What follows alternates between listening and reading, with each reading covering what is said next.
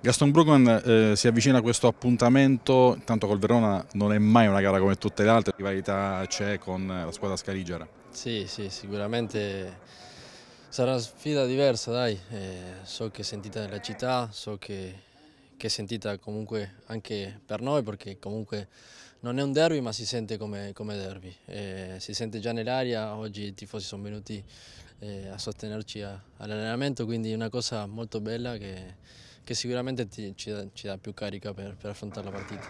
Ci sono dei reduci della vittoria col Trapani, tu non hai fatto parte di quel gruppo, c'eri però l'anno prima quando la partita, la doppia finale non, non, è, diciamo, non è stata vinta, non che sia stata persa perché poi la differenza l'ha fatta la classifica.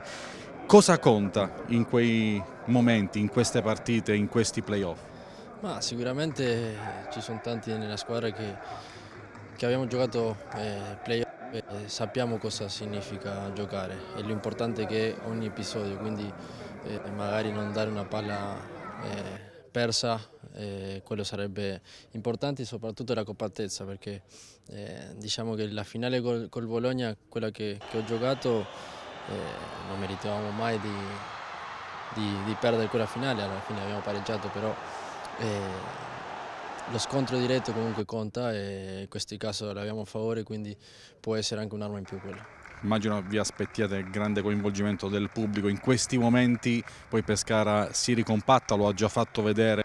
Sì, sì, sì, quello si, si, si percepisce nel, nell'ambiente anche nella città, magari vai a, a, prendere un caffè in centro e già la gente si, si sente carica e quello lo trasmette alla squadra anche, quindi eh, dobbiamo essere anche intelligenti a non soppressare la, la riga di quello e fare delle cavolate diciamo, in campo. È una cosa che, che, ci tengo dopo quella finale lì a, a Bologna di, di portare un'altra volta a Pescara in Serie A. Adesso non, non ci vuole par parlare di futuro perché non, non c'ha senso. Eh, ovviamente eh, amo questa città e dopo questi anni il tifoso dell'Uruguay il numero uno sono io, quindi eh, sono contento di stare qua.